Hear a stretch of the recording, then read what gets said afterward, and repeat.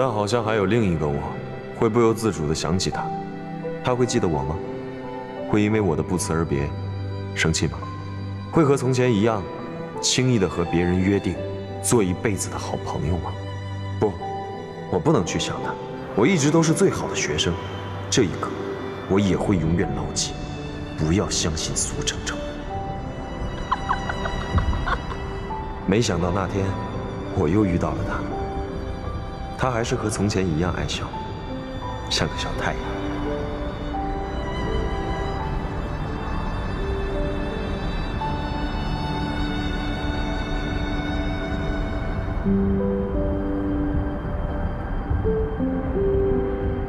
那一刻，我又忘了这么多年对自己的警告，怀着忐忑的心情走近他，猜测着重逢后他的第一句话。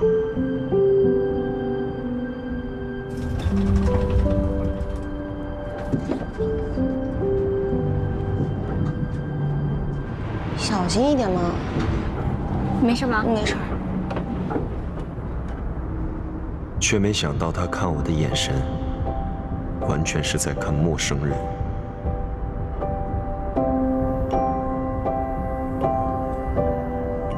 我快到了，走，咱们先到后面去，走，人多。